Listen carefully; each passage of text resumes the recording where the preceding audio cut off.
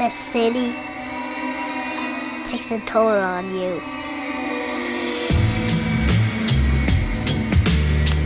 Being a Ghostbuster is hard work.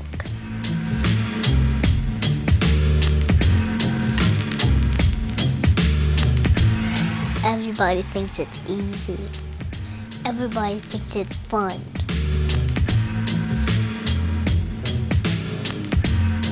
But it's no fun when you're the only one left.